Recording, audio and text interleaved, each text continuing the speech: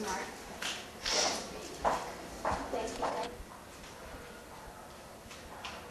I didn't realize it's gonna be in the movies when I come over here.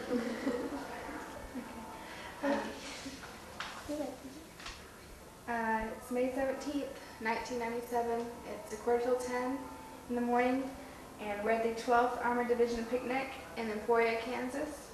Uh, my name is Rachel McDonald, and I'm with the ACU History Department. Can you please state your name? I'm John Gregg, John C. Gregg, Okay. from Lyons, Kansas. Uh, can you tell me your battalion and company? Oh, sure, it was the C Company of the 119th Armored Engineer Battalion, 12th Armored Division. Um, why don't you start with uh, describing your parents and um, your growing up, where you lived? Well, I was born and raised on a farm just about two miles north of a little town called Nickerson, Kansas. It's right, really right about in the center of Kansas, about in the heart of Kansas. Matter of fact, it's about 125 miles west of Emporia here where we are today. But I grew up on a farm and we was about two miles out of town. And at the, in those days, we went to school in town and, and we walked back and forth to school all the time. I had uh, a brother and three sisters, and all through grade school, we walked back and forth to school, bad weather good weather. But it got in high school then, and a little bit later, like cars was coming in style, and so we did have a car that, then that we drove back and forth to high school. I graduated from high school at Nickerson, Kansas. In 1939, I went to Hutchinson to junior college in 1939 and 1940. And I got a, graduated from Hutchinson Junior College, got a two-year teaching certificate where I was qualified or permitted to teach school. Taught school one term at Haven, Kansas, and after, that was in the year of 1941 and 42, spring of 42, Pearl Harbor occurred that winter. And uh, in spring after school was out, why, uh, course, I was classified, uh, we, I was married, we got, my wife and I got married after I graduated from high school, or from college. But uh, I was classified uh, 1A and, and uh, went into service then in the fall of, of 42. That would be, yeah, December 7th of 41 was Pearl Harbor. Then the following December, I went into service. I took my basic training at uh, Fort Smith, Arkansas with the 14th Armored Division. And uh, after basic, why, the ASTP program was being organized. And uh, I was selected for the ASTP program and went to Texas A&M College with, uh, in the ASTP program. Was down there from the inception of the program until it was abandoned after the program was abandoned, I went from Texas A&M then over to San, or to Camp Barkeley and joined the 12th Armored Division at Camp Barkeley. And from there on, went overseas with them. Um, how did you feel when that when that program was uh, dissolved? Well, I was really disappointed. it was uh, it was set up to uh, um, give a, a full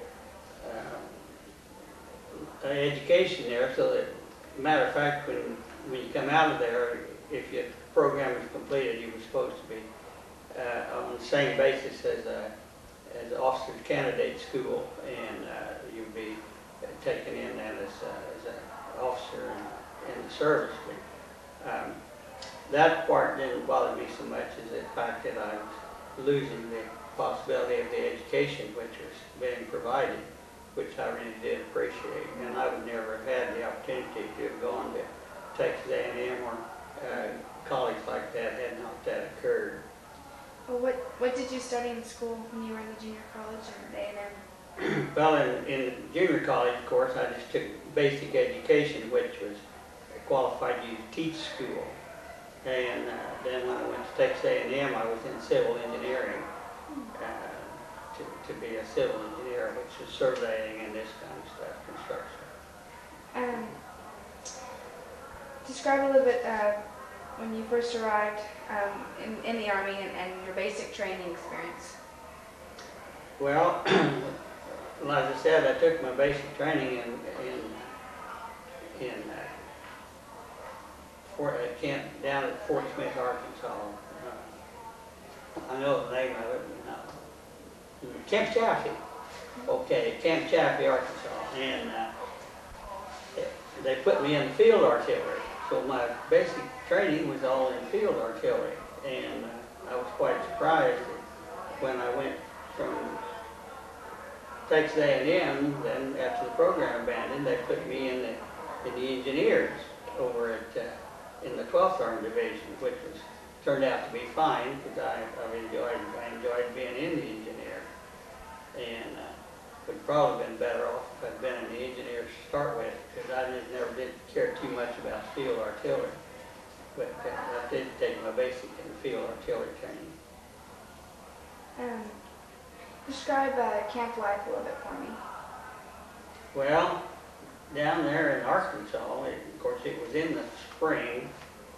I went into service in December the 9th, and the time we got around, got classified, and they got basic training started, I suppose it was January the 10th or something like that. And in the dead of winter, and we like to froze to death down there in Arkansas. I- That, that, there's only one place colder in the world, as far as I'm concerned, than Camp Chaffee, Arkansas, and that's Abilene, Texas. The, the humidity and stuff down there was so high and in, in the winter, and it got so cold when it was damp like that. But, uh, of course, basic there was twenty mile hikes and all like this, and hiking and, and that type of military life never did particularly bother me like did a lot of people. Uh, I- A kid that walking back and forth to school and running around out in the country all the time, uh, used to that kind of experience, didn't, it didn't bother me much. But walking for a lot of people was, was a big problem, where you go on those hikes and, and it was twenty mile hikes and you, some of them come straggling in hours later that, by the time they completed their hike. I did get, uh, I took, got pneumonia, took cold down there at Camp Chaffee, spent a week in the hospital while I was there in basic, so. But that was not unusual, I mean, there was a lot of people had colds. Exposed to a lot of weather that you wasn't normally used to. Uh, tell me some um, about some of your friends at this time that you worked with. Well, while we was in basic training, right at the end of my basic, uh, which I had, like I said, we'd gotten married a year earlier, and uh, we had a daughter born in October, just before I went into service in December. So she was just a baby, and after basic was over, why, uh, I made arrangements for her to come down to Fort Smith and visit with me, and she spent three or four weekends down there before they sent me on to ASTP training. But there was a couple that shared an apartment with us that we got quite well acquainted with, and they was from up in Pennsylvania somewhere. Their name was Eisenman, I, E-I-S-A-M-A-N, and, uh, really, they was about the only two couple, the only couple that, uh, as husband and wife that we got very well acquainted with. Um, The other, the other guys was just everybody in the barracks and, and all in the same boat. Um, hmm. describe uh, the sergeants and the officers that you recall during during this time of training. Well, in basic, uh, we had, most of our basic uh, training officers, I think, were what they called O-line officers, that officers, men that were in the military prior to World War II. They had, most of them been somewhere, see, this was getting along there in, uh, in the spring of 43. And, uh, most of those guys had been overseas in the military in Africa and, and in the early stages of the war because they had been in the military prior to the war, see. So they was drawn right into that thing when it first started. And having been overseas and then came back as cadremen or in, in, in, in our situation there, why, um, I mean, they were pretty, they were pretty much military people. I mean, they, they demanded the utmost and, uh, had every right to, I guess. Uh, we thought probably that we was being abused on many occasions, and, but, uh, that was normal. Um, Everybody, uh, you wasn't a good soldier unless you had something to bitch about, you know, you have to keep griping and bitching about everything. But uh, I had no serious complaints or uh, quarrels with anybody over the service that we got and the training that we got. Um, what do you recall about Camp Campbell? Well, ma'am, I never did get to Camp Campbell. See, uh, the 12th Armored started at Camp Campbell, uh, as I understand it. But I didn't join the 12th until after the ASTP program, and I joined them at Camp Barkeley. So uh, that, prior to that, I didn't have much memories of it. Um, well, tell me about Camp Barkeley. Well, Camp Barkeley, of course, we left Texas A&M not knowing where we was headed. Um, Like everything else, they get you together and tell you you're gonna go somewhere, and- you ha- have hopes that it's, it's for the best, and I was quite surprised when I ended up at Camp Barkeley. Uh, I didn't know anything about Abilene, Texas, or Camp Barkeley prior to that, I'd never been down here. But uh, we get over there and, and it's, it's a different, uh, definitely a lot different than Arkansas was and it's just a lot of, a lot of mesquite and sand and rattlesnakes is about all- most I know about it. Um, what kind of recreation did you have?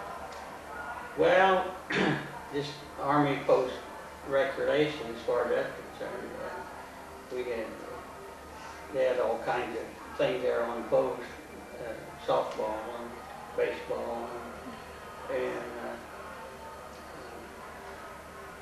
we actually got to, I didn't spend all that much time at Camp Barkeley. Uh, It was probably the first of July when we got over there.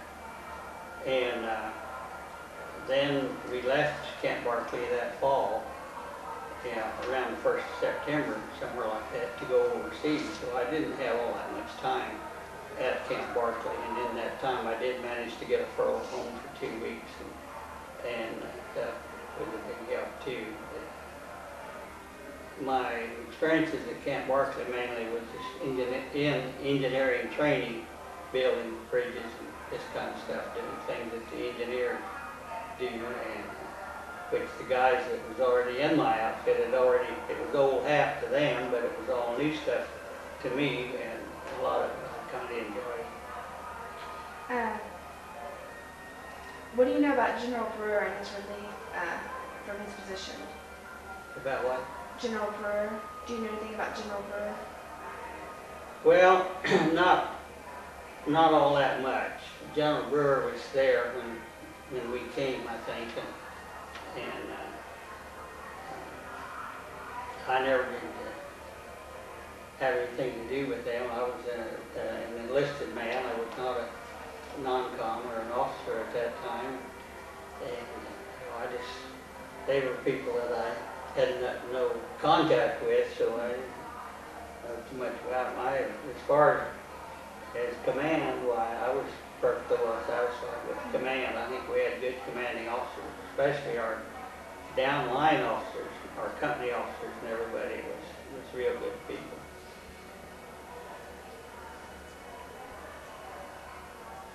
What do you remember about um, the maneuvers you did in Texas? Well, of course, there's one outstanding uh, thing that is about our Texas maneuvers that uh, was uh, a disaster, but it was, it was quite uh, memorable. They have a area out there west of, in the western part of the camp where there's two hills on each side. It's just a natural amphitheater-like place, and down in the valley is, is where you, the troops could all be up on the hills on each side, and down, and anything that was being displayed could be displayed down in the valley. And we was having what they called a snake demonstration, and it was how to clear a minefield. Now, a snake is a, is a long, uh, I'm gonna say about a city block long, two pieces of steel that are bolted together and it's fastened, this long thing made out of steel, out of segments of steel, and it's bolted together, and on the front end of it, it's got a round ball. So that you can take a tank and hook it to the back end of it and push that thing through a minefield. And then you can explode that thing, it's filled with, with TNT and dynamite. And when you explode it, then that would set off all the mines within so many feet of each side of that thing. In other words, it would clear a pathway through a minefield that you could drive a tank and trucks and vehicles through. And this was a demonstration that day of how to use this tank, this uh, snake to clear that minefield. Well, prior to the demonstration, they had to lay a minefield down, down in this valley and get it all set up for the demonstration. And that particular day of the demonstration, there was troops out there, practically everybody out of Camp Barkeley and a lot of people from Fort Hood were down there. Thousands of people up on, on the hillside watching this demonstration. And about the tank, time they got ready to pull the demonstration off, there were three men that were left down there to make the final preparations. In other words, arm the, the mines, pull the tripwires and stuff, get them all ready. And somebody goofed, somebody made a little accident, and the whole thing went up in smoke. Well, of course, the three men that were killed were the three men that were still down there in, in the minefield. So the demonstration never did get, get, get pulled off in its entirety. Uh, it was a disaster as far as the demonstration is concerned, and we lost three men out of our company in that, that day, in that demonstration. Um, tell me about the trip to Camp Shanks. Well, we left Camp Barkeley, and uh, of course got on a train, and, and it was supposedly nobody knew where he was going or anything. But as we got coming through the, up to the country, I began to notice some names of towns that as we go through that were familiar. And as we came north, I knew that we were coming on the tracks that were going to go through Augusta, Kansas, which is just over east of Wichita. It's also my wife's hometown, and her grandmother lived just about a block from the tracks. And so when we went by there, I was at the window, looked out, and the last thing I seen in Kansas was in Grandma's house over there. So we went within a block of her house, because I didn't, couldn't tell anybody, couldn't, nobody knew where I was in. But from there on, then we went up across the eastern part of the country and go uh, we can see out during the daytime and everything. We went up to, over into Niagara Falls, I guess, crossed over into Canada and back down to Camp Shanks. And, and it was just another train ride from then on. Were you allowed any passes into New York City? Yes, yes, I went to New York City uh, just once, one, one day, and uh, of course I was lost in time. I was there, I'd never been there before, never been there since, but uh, I think it was five or six of us all together, and uh, I think one, one guy out of our outfit had been there before. Of course, we relied on him to know something about it, but he didn't know any more than we did. So it was kind of, but we had a good time. Found our way back to where we were supposed to be when we, to go home anyway, get back to camp. I guess if we hadn't found our way back, they'd have found us and took us back sooner or later. Um, what was the trip across to Europe like?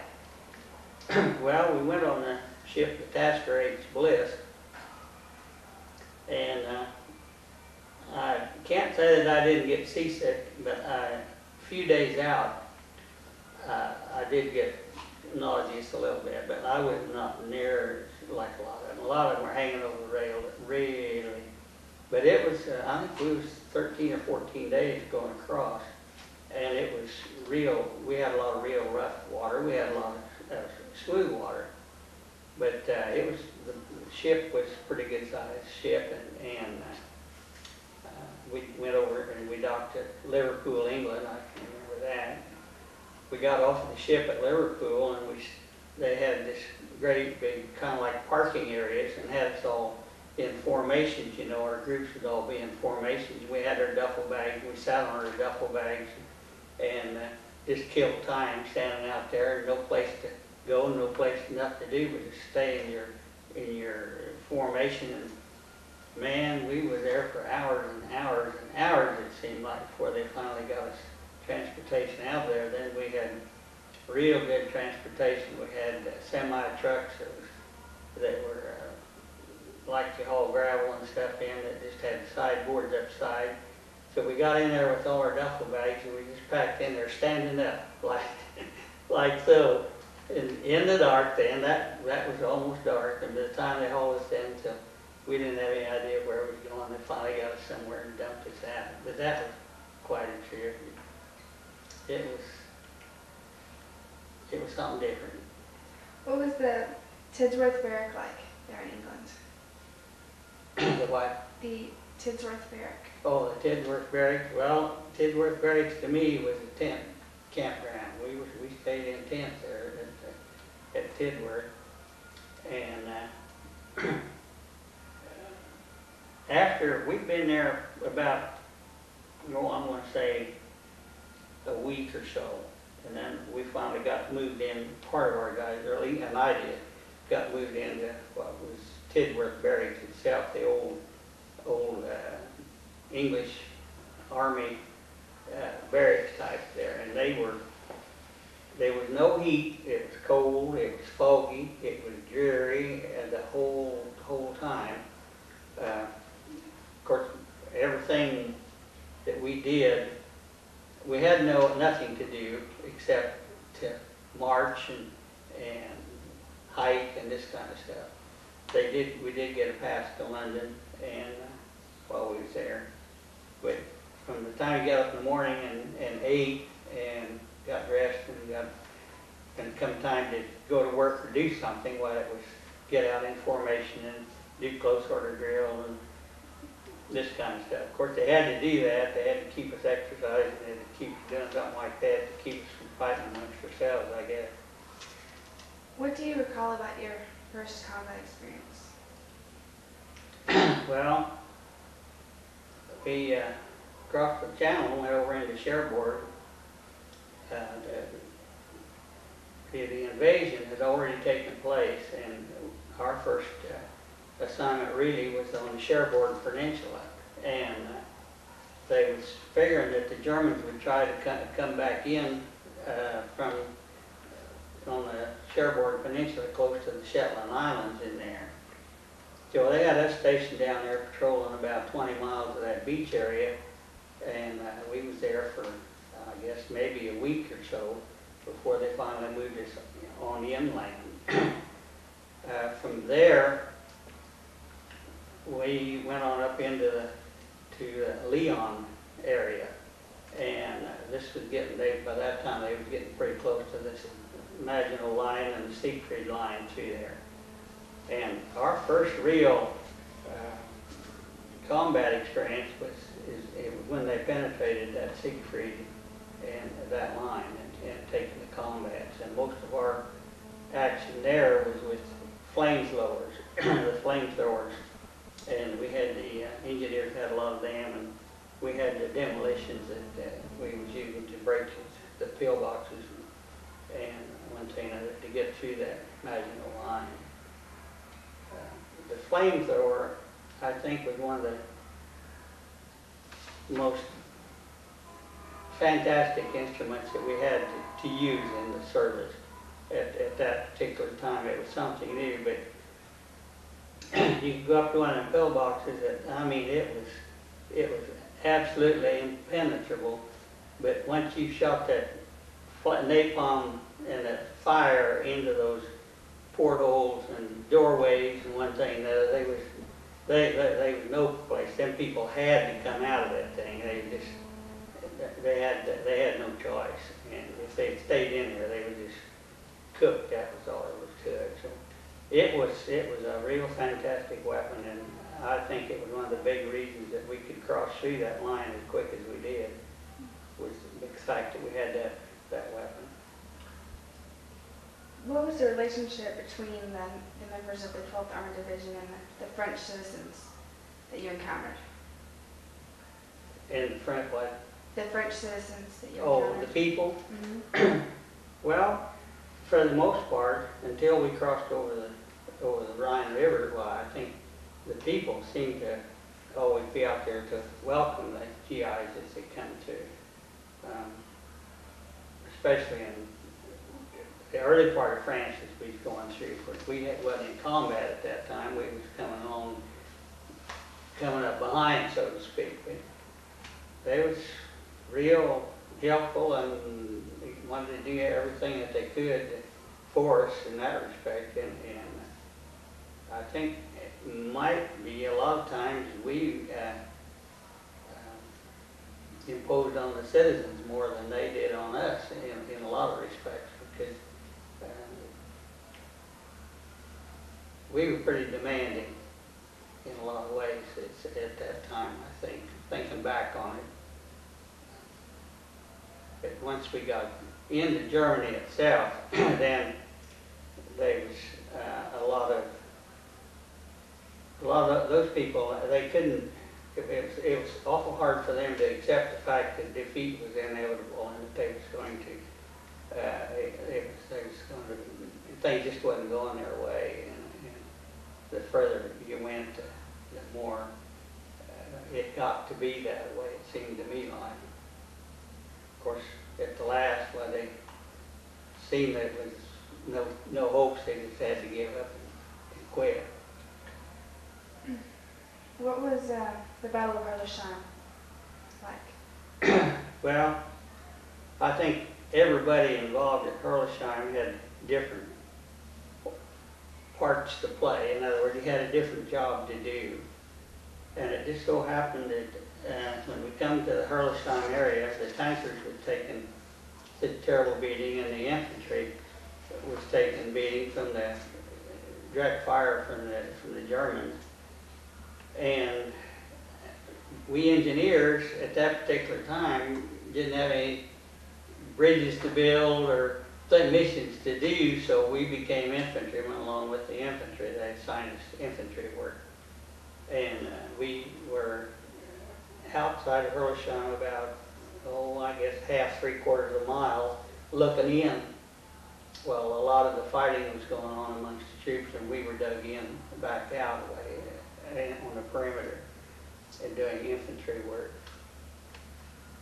Later on, we did do bridge construction, helped build bridges across the Rhine and this kind of stuff. What was it like to uh, experience the, the casualties of the, the battles? Well, it was real hard to uh, see all the things that was happening and realize, actually, up until Herlisheim, ev- everything had been going our way, let's put it this way. Everything was, all the problems was on the other, they were taking the brunt of it. But once we got to Herlisheim, it, it, the tables turned, and, and we could see that there was another side to this war that we we hadn't experienced up until then. Fortunately, it after after Herlisheim was over, this whole thing lasted three or four days, and after that, it was the other way again. It was back in our favor, so uh, things was going our way again.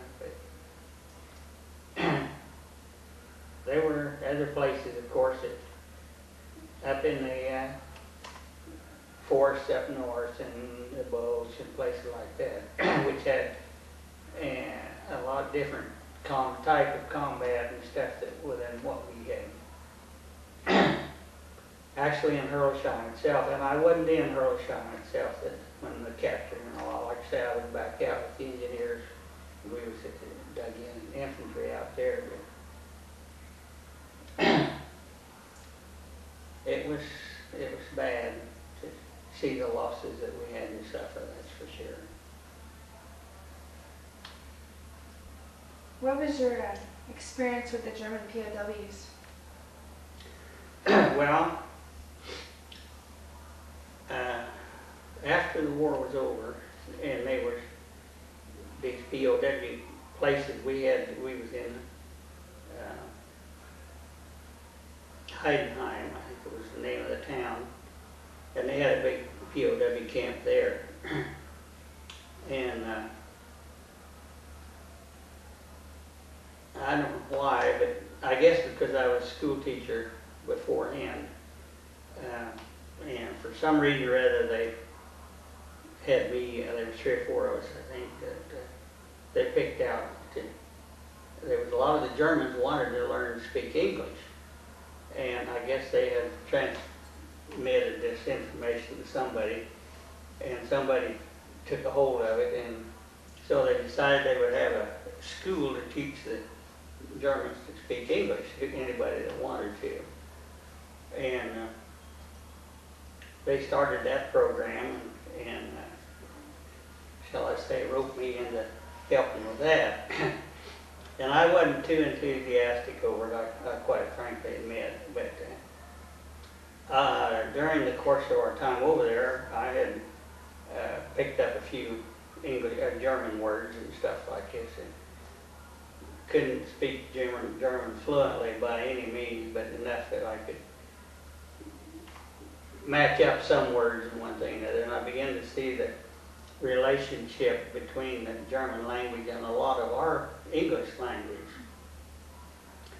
Like, uh, for example, kinder, K-I-N-D-E-R. uh, we have kindergartens and uh, child, well, in Germany, uh, they have kinder, kinder means child or uh, a little child, see, and so there's a lot of the words that had relationships that related once you really stopped and got to thinking about it. And um, when I began seeing that relationship then and trying to match up the words one thing and other way, we spent, I think about a month after the war was over that I was really involved with trying to teach these guys. And they lost interest.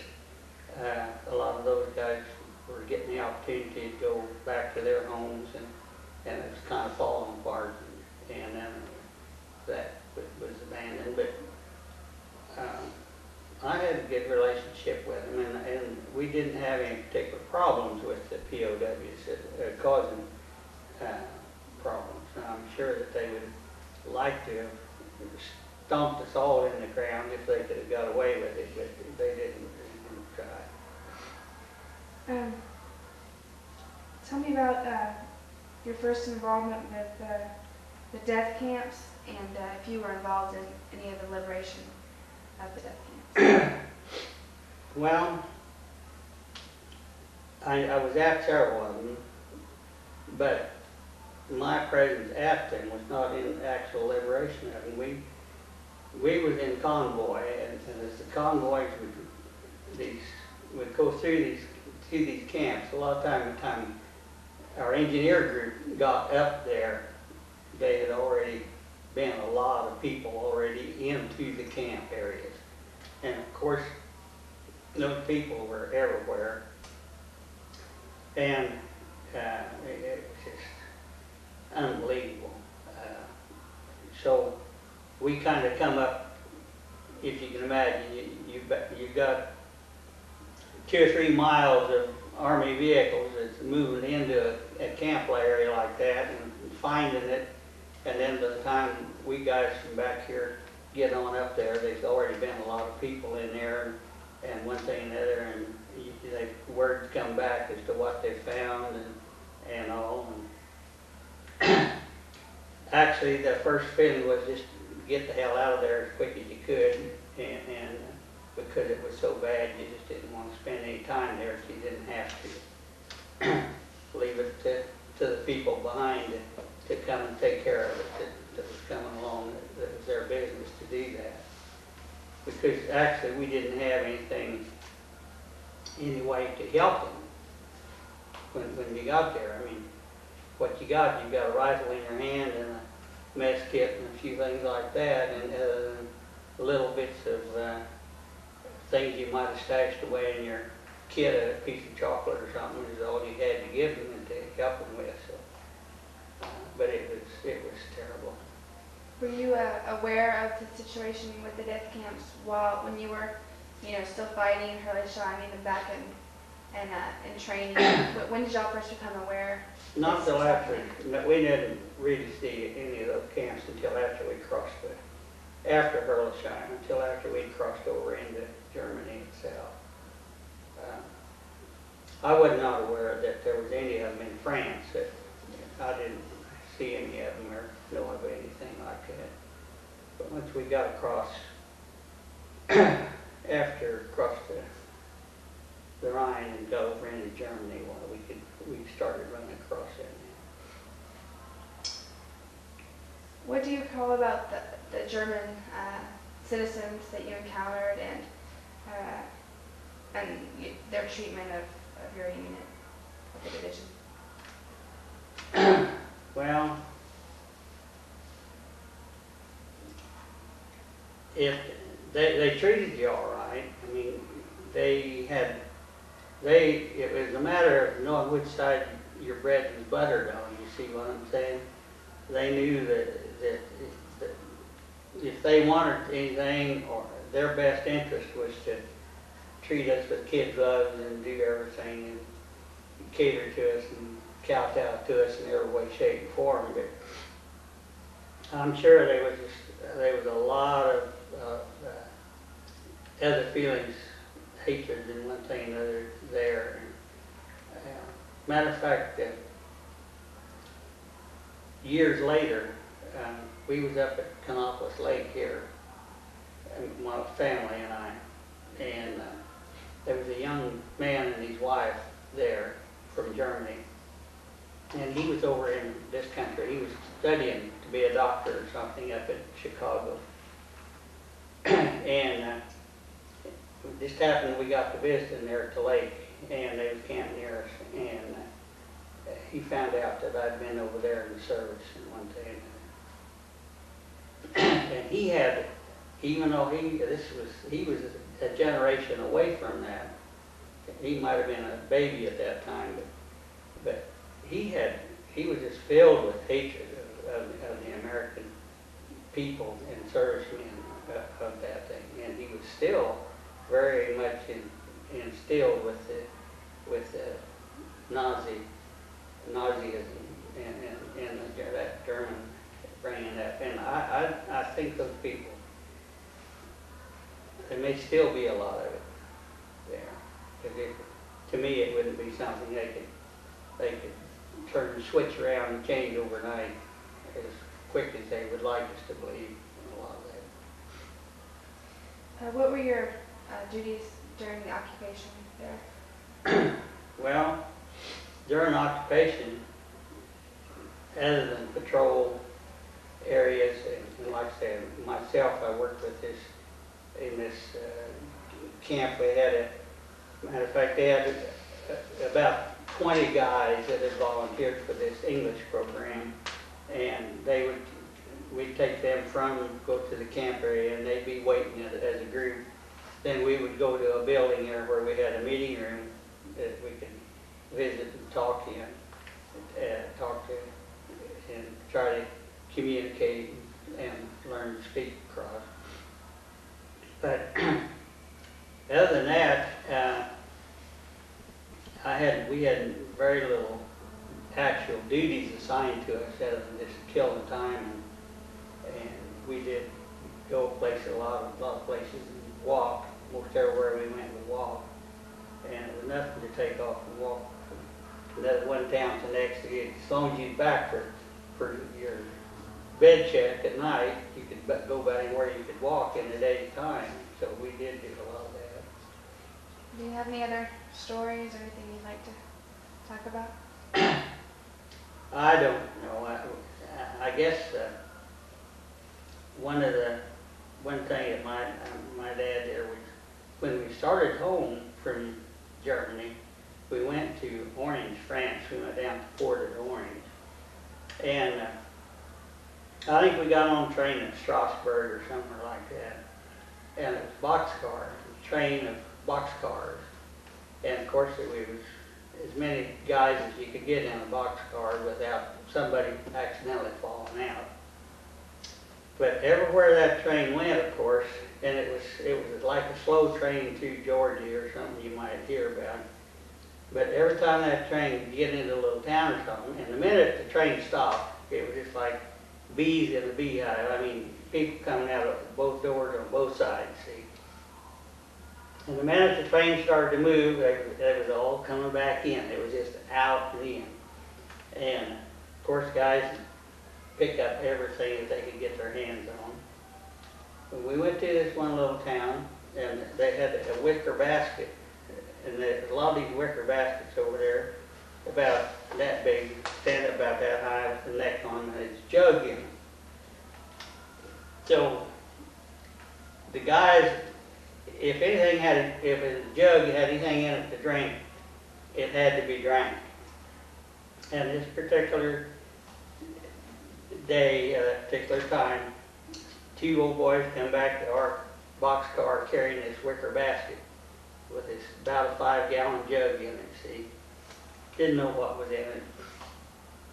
they heaved it up into the car, and of course they was having to pull them and everything else. The train was starting to pick up speed. Got that thing in there. Well, it was a matter of uncorking it and then getting in line, and, and you didn't. By the time one guy got off of that jug, the, somebody else was waiting there to get it drinking.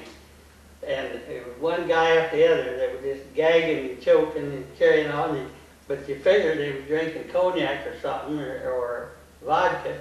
And but after a while, you finally begin to smell it. It was perfume, see. And if the, the smell began to penetrate around, the guys farther in line begin to realize it wasn't vodka, and these guys was all trying to spit it out and get rid of it. One big swallow of it was enough. but it, it was, that was really something. I can remember that. It was quite an experience.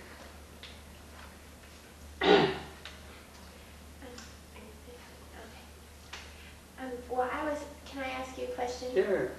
I just was interested in, you joined the, um, okay, you were in Arkansas first.